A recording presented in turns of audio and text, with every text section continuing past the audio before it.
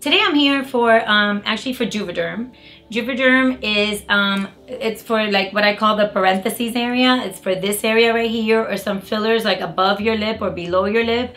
Um, again, I'm a teacher and I've seen a commercial about where parentheses go and it's true. It, may, it reminds me of exactly where I want to use the parentheses. The parentheses are used in a in my board, in my classroom. It'd be to, you know, when I'm putting some words in parentheses, I don't want them on my face. I don't want people to feel like I'm having a division here.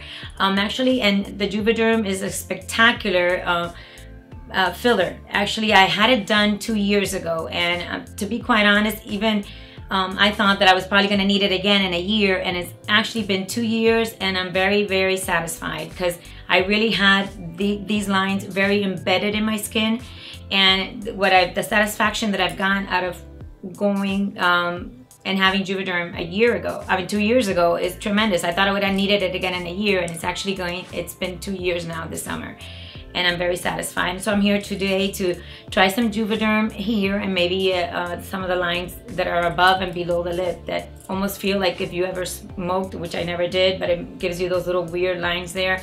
But then when you have lipstick, it runs there and it really looks smeared and ugly. Well, I'm here to kind of straighten that area out. So I'm, I'm very uh, excited. I, I feel that Dr. Perez-Gurri did an excellent job, excellent job with the um, two years ago. So I'm very satisfied. I was very satisfied, so I'm sure I'm going to be just as satisfied now. And obviously, um, I trusted him, and I feel that he's a professional, and that since he did such a great job, I'm here again.